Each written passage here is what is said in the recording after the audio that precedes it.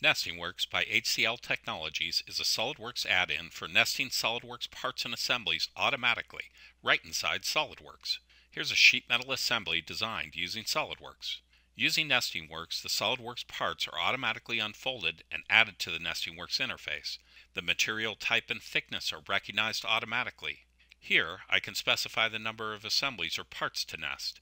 The user can create a library of standard sheet sizes and the correct material will be selected automatically. A preview of the nested sheet can be viewed and once confirmed, NestingWorks automatically creates a fully associative SOLIDWORKS assembly of the nested parts.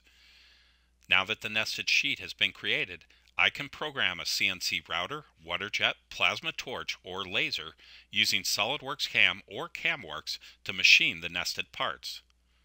The combination of NestingWorks and SOLIDWORKS CAM or CAMWORKS makes it easy to nest and program parts right inside SOLIDWORKS, and all of the CAM data is fully associative and updates automatically to changes made to the design.